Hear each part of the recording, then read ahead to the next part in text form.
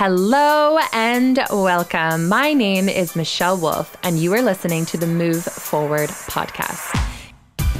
Each week, we will be talking about living life to the fullest and making the intentional choice to move past trauma. I'm a registered massage therapist, a whole food lover with farm roots. It's important to slow down, take time for healing, and to incorporate proper nourishment through fitness, nutrition, lifestyle, and mindset. During this journey, I'll be speaking openly about my personal experiences with cancer, loss of a loved one, wellness, and infectious optimism. Plus, you'll get to hear interviews with many truly inspirational and informative guests. We'll tackle each challenge with courage and care. Thank you for joining us on a mission to move forward in body, mind, and soul. Now let's begin. Hello, and welcome to my very first episode podcast. Thank you so much for listening, and I am just so excited to get started to share my story, my journey with all of you. And I can't wait to also have and to meet some incredible guests on this show and to share their journey and to learn from their message and and share it with all of you. So I'm just I'm just so excited for this. So thank you again for you all joining, and let's get started. Um, for today, I thought I would share with you a little bit about myself and share with you my journey. And that's kind of what this podcast is going to be about. I am looking to share other people's stories and messages about what they've been through, the hardships, the tragedy, the rough times, and the good times, and how it has shaped them to be who they are now, and how it has helped them become who they are and become successful. Possibly that is the reason of why they have succeeded in life or started a business or um, moved on from a relationship or who knows what it is. There's an array of things that could have got them to where they are today. But I am so excited to be sharing the stories and the journey of so many individuals, including my own. So, for today, let's get started. I'm going to give you just a quick, brief um, intro of my journey. I know throughout all these different episodes, I will definitely be giving you a little bit more timbits here and there, and and some more insight of my life and my journey. But for today, I thought I'd just give you a little a little peek inside. So, I was born and raised on a farm near a small town called Mitchell in Ontario, Canada. And I was raised by my mom and my dad, my sister and older brother. And we had a pretty good life. I know looking back at it now, my dad definitely had many struggles himself, losing his father at the age 15, taking over the family farm with his brother. And you know, he just wanted to give us everything that he didn't have, and he wanted to provide as best as he could. So he worked hard and he succeeded, and I am so very proud of him. Uh, but I know the beginning was not easy. Uh, but otherwise, we definitely had a very loving family. We were involved in a lot of activities and sports and adventures, and I had um, a very large family. My mom has eight siblings. My dad has six, I, I believe. Um, and with that, obviously, I have many, many cousins, which is which is pretty cool. It was it was like an extended, incredible um, family, and we had a lot of fun. Definitely. Now, at the age of eight, Sadly, my mom was diagnosed with stage four cancer and she passed away. So, this was obviously a very big life changing experience, and especially for myself being only eight years old. It's such a young age to go through such a traumatic, life changing experience. And, you know, I can dwell on all the negative things that I went through and, you know, all the sad experiences I had and moments and, you know, not having my mom there on Mother's Day and birthdays and all those things. But for today, I wanted to chat more about the positive things. So I'm not trying to say that I would want, you know, if I could change things, I would definitely go back and I would prefer her to be here and I would prefer to have her with us in our lives and grow up with her. However, that wasn't the case. And so I look at that experience and I recognize that any major experience, tragedy, loss, um, or change in your life will have an effect on who you are, how you deal with things, and what you become and who you are. So, with that, I have recognized that, you know, it definitely made me grow up a lot quicker than I likely would have. And I am absolutely 100% more independent than a lot of people that I know, likely because I had to be. I didn't have a choice. I didn't have a mother who would pick up after me and who would um, tell me what was right or wrong or when to do this or when to do that. Um, you know, kind of give me a little bit more structure or guidance.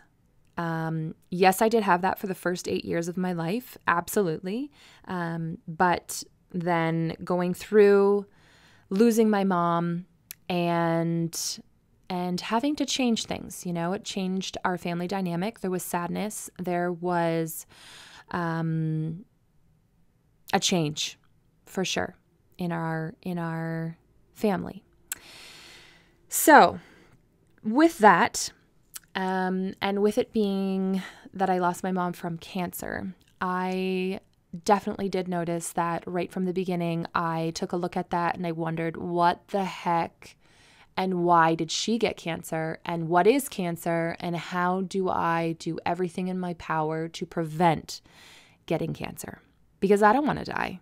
I didn't want to die. I was a young girl. And so from there, I started doing research and teaching myself about the disease and about the possibilities of what could have happened or how it could have happened or how I could prevent this. And what I found was a lot of it had to do with um, lifestyle, your choices of your diet, and your stress levels, and your sleep, and um, you know many different array of things it could possibly be. There is no specific one thing that it could be um, but i definitely learned a lot over the years with my research and I made a few major life changing or a few major health decisions.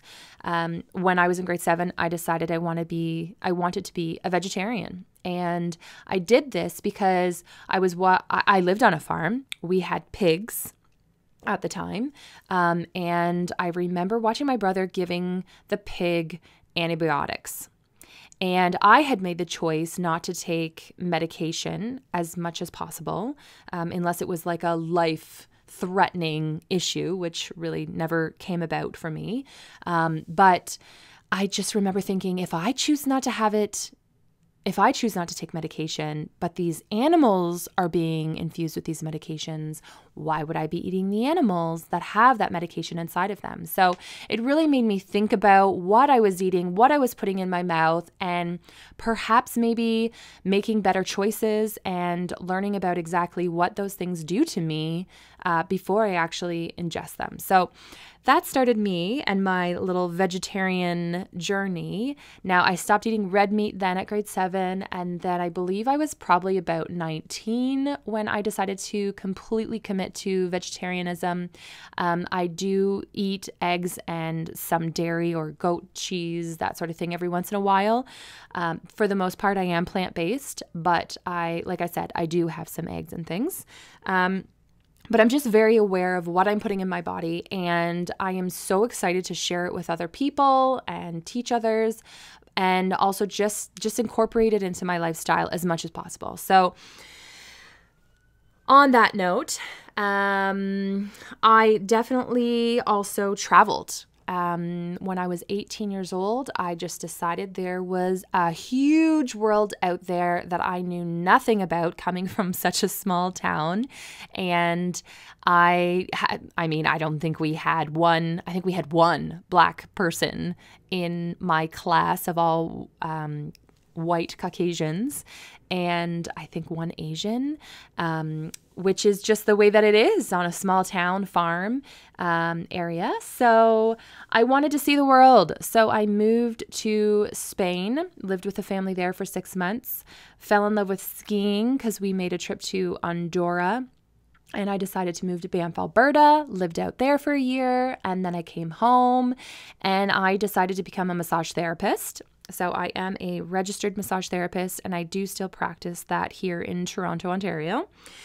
And then I moved to Australia for two years and then back to my hometown, started my own business, was very successful, and really loved learning and um, treating and healing individuals. Um, but then I moved to Toronto, Ontario, where I now reside and I started working at a neurological rehab facility about, I want to say, seven years ago now. And there I learned a lot. I mean, I was working in a, it was a private, it's a private facility. So it's not like a hospital where they have to work inside that box, you know, with so many safety precautions. This was, um, completely private. So we definitely pushed individuals and i just learned so much. It was it was an incredible experience and i'm forever thankful. Um, now that being said there was definitely some politics that went on as there tend to be in most um, businesses Ever since I first started working at this new facility, I just knew that this would be the place that I would be for the rest of my life. So I had been traveling for the last how many years, going from country to country, and I was the type of person where not that I would get bored, but I just I would want to change. And with this facility and the people who I worked with and what I was learning, I just knew I'd be here forever. Um, but unfortunately, with those politics, it did come to an end. I did realize that I was working for individuals and building a business and working my butt off for them. Meanwhile, I was a very hard working, passionate person, and it was time for me to finally focus on myself and focus on dreams that were going to get me far enough in life that I felt comfortable with and that I was proud of myself and that I got to do what I wanted to do and that I would be happy every day waking up doing exactly what I want to do. And so here we are now and after going through a year of figuring out what I want to do next and where I want to go and what type of business I want to build, and I'm, I'm still working on that. However, um, for the last two years, I have been listening to podcasts and I have been inspired. I have learned so many incredible things and I have grown as an individual all through listening to podcasts. So, if you are new to the podcast world, welcome. It is incredible the things you can learn. And there's just so many wonderful, knowledgeable human beings out there putting out so much information. And I just knew that it was time for myself to put a lot of that information out there. Being in the health industry, I was I'm working with individuals on a daily, and I find myself motivating them and coaching them through life skills. And um, a lot of them are going through a lot of traumatic, serious situations, whether they've got a spinal cord injury and they can't walk anymore, or a stroke, or a cancer patient. Um, I find that these people are coming to me with the need of information as well as needing guidance and support. And um, so here we are.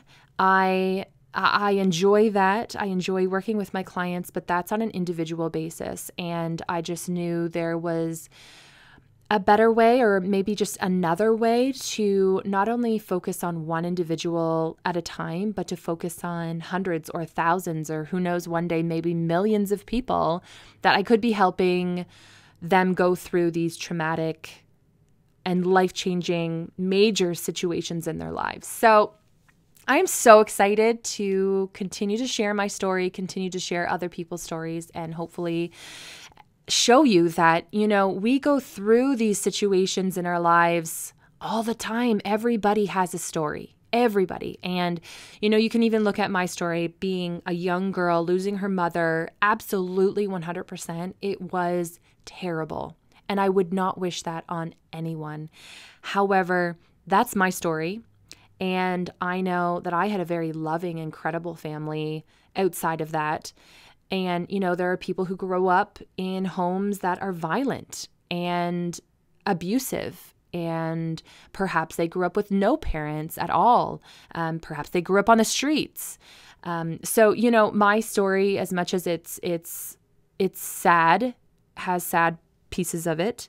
Um, I definitely did have a good life, and I'm very, very thankful for that. And I look at my journey and what I went through, and I build on that. And I would just love to inspire so many more individuals out there.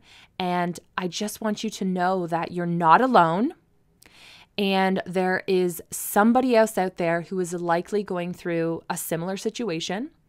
And when I look back and I recognize that it wasn't just me and it wasn't just my family, it was a community of people coming together, supporting us. I had my neighbors who would bring food. We had we had our freezer filled for uh, the first year you know, it was filled with meals. And up to this day, my dad and my family back home are still getting pies, um, canned peaches and pears and things from my neighbors. And Car- out to Carol Seaman. You are an incredible human being. I love you so much. And I'm so thankful for your support and your delicious pies and um, birthday cards and everybody, my community. You just it, it it was amazing and it definitely definitely helped guide me to be a good person. And so I am so excited to share that with the rest of the world. So, shout out to all of you who are going through challenging times right now. I understand it's difficult in the moment, and often we can't see the light at the end of the tunnel. But I want to remind you that there is a light at the end of the tunnel if you so choose to find it. And a lot of the times, I don't think we realize that it is up to us. Yes, it is important to have a community around you, and I strongly suggest you find those individuals who can help you through these tough times. But at the end of the day, it is up to you to make a decision whether you want to or whether you don't want to wake up and move forward and find the good in life. You know, you could continue with life being sad, being disappointed, maybe angry or furious at your circumstances, but that is solely your decision on how you feel. And I am a strong believer that it is up to you to make that choice if you want to be happy, if you want to move forward, and what type of life you want to have. You can design that solely on on what you want. Make a plan, have some healthy habits in your life and move forward. Make the choice and move forward to live. So, I think I'm going to end it at that. Um, I definitely have so much more to share with you guys, and we will continue shortly. But that is the brief overview of my life uh, growing up, and my losing my mom has definitely shaped me to be the the independent person that I am, and I have lived my life, you know, one day at a time, and also living it to the best because you know, what whatever religion you are, today is today. This life is the one life we have, and why not live it wonderfully? And um, I am just sending so much love and support. Big hugs to all of you out there. And I look forward to sharing some more of my story. And so basically, these days I am working on podcasts, I'm working on a little bit of YouTube here and there. I've got my blog. I share delicious, healthy recipes on my blog, as well as other health and wellness there. It is my part time job at the moment because I am full time massage therapist. So it will definitely get more. I will definitely have more of that content coming at you, hopefully sooner than later. Um, but for now, I am just thrilled to have you all listening. Please, please, please share this with anyone who you think it could help.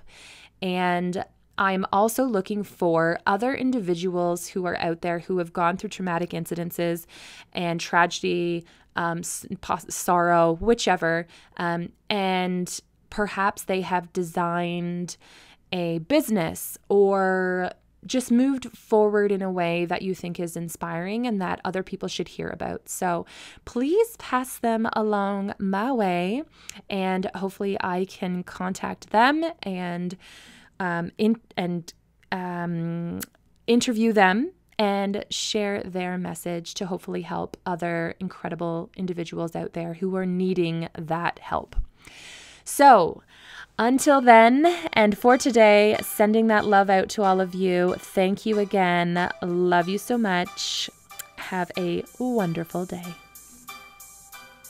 Thank you so much for spending your time with me and the Muve Forward podcast. I am extremely grateful to each of you. If you have enjoyed this podcast, please take a moment to share this episode with someone you think would benefit. Also, if you could please leave an honest review by going to iTunes and leaving your thoughts and questions. Let us know what you would like to hear more of so we can continue to inspire and share with the world. Again, thank you from the bottom of my heart. I am forever grateful for this community that we are building and the individuals we are helping. Until next time, we hope you continue to move forward by choosing to move your body, your mind, and your soul. Thanks, guys.